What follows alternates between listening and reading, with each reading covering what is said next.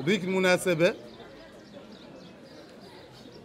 إحنا قررنا ذا المؤتمر الصحفي بعد ياسر من شد الأخبار وخلق اندماج.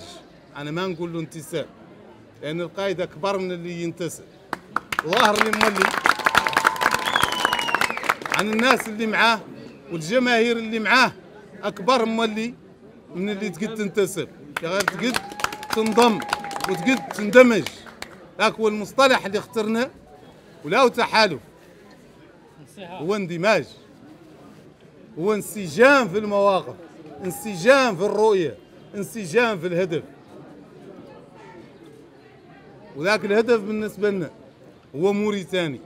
لكل أبناء الموريتانيين. قائمة على العدل. قائمة على الإنصاف. قائمة على المساواة. ومن ضمن الأهداف زرع حصون الإرادة في الأجيال. إحنا لابد نربوا أجيال تم تقد تقول نو موريتاني لابد يعودوا فيها الرجال والعليات اللي قدوا يوقفوا قدام الرئيس وقدام الوزير وقدام القائد وقدام قفر وقدام بريفي وقدام جيج ويقولوا لا! لا غالية ولذلك نحن ندور نبنوا أجيال حرة. يا كانت قد تبدع يا كانت قد تنتج يا كانت قد تبني.